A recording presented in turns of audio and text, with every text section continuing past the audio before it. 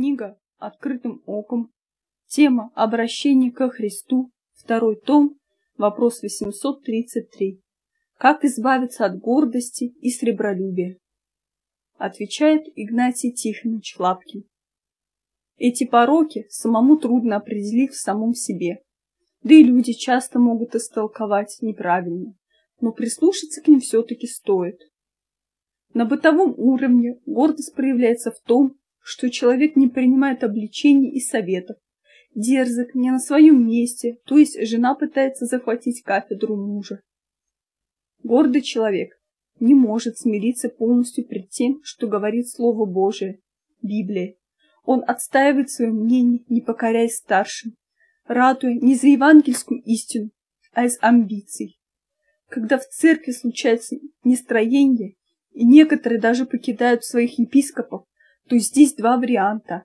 Или человек совершает героически смелый поступок, отходит от беззакония, или в гордости устраивает новый жертвенник, и если при рассуждении этот человек не выслушивает и не примет довода хотя бы одного оппонента, он может ошибиться с тяжелыми последствиями.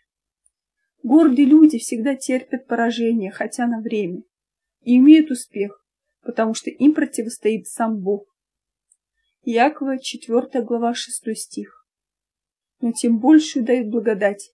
Пусть ему и сказано, Бог гордым противится, а смиренным дает благодать. 1 Петра, 5 глава, 5 стих. Также, младшие, повинуйтесь пастырям. Все же, подчиняясь друг другу, облекитесь смиренно мудрием, потому что Бог гордым противится, а смиренным дает благодать. От гордости рецепта нет, только сам Бог будет прописывать горькие пилюли, ломать рога и хребет.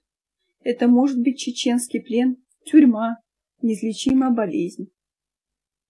О сребролюбии.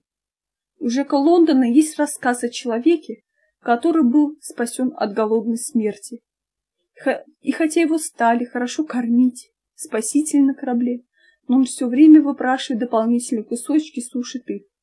Но хранить, хранить ему не, их негде и он из сухарей делает двухэтажный матрас.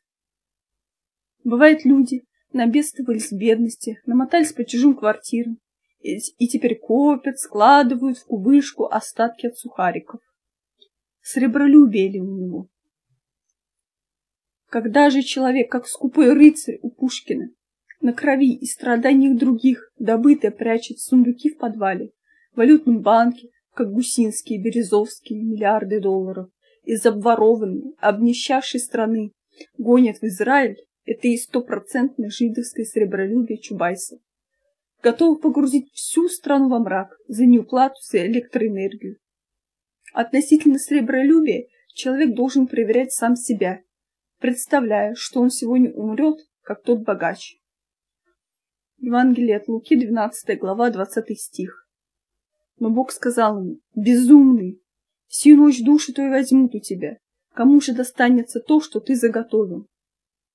Слово «деньги» в русском языке очень доходчиво разъясняет, что они даются нам как бы на один день, без заботы о завтрашнем дне, как толкует Иоанн Златоуст, перевод греческого слова «деньги». Надо жить экономно, довольствуясь малым, чтобы оставалось время и для духовного. Сирахова 13 глава, 30 стих.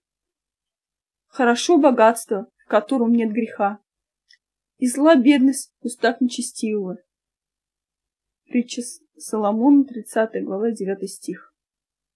Дабы, присытившись, я не отрекся тебя и не сказал, кто Господь, и чтобы, обеднев, не стал красть и употреблять имя Бога моего в суе. На, вреде, на время жаден я, все не хватает дня. Он кажется до боли мне короток. Я час ловлю, как узду коня. Остановись, не кончена работа. Но время движется вперед шагами стрелок. И солнце ревет поводья, часть на запад. Я мучаюсь и злюсь, как мало сделал, как много остается вновь на завтра. На завтрашний покажется, день завтрашний покажется короче. Года не к лету, к осени поплыли. Крепись, бодрись, ну хочешь или не хочешь, не виски уже посеребрели. Но все равно я встану рано завтра и потружусь до наступления дня. И солнце, уходящее на запад, я за узду поймаю, как коня.